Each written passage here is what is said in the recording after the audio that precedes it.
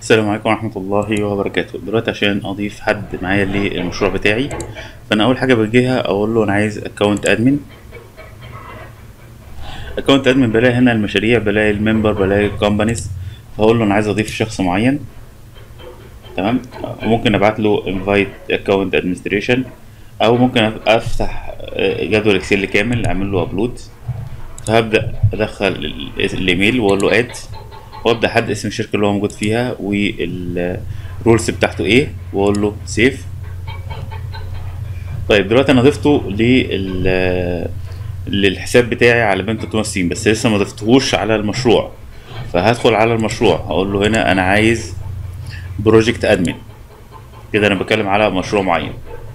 تمام؟ وهدخل هنا على ال members وهقول له أنا عايز أضيف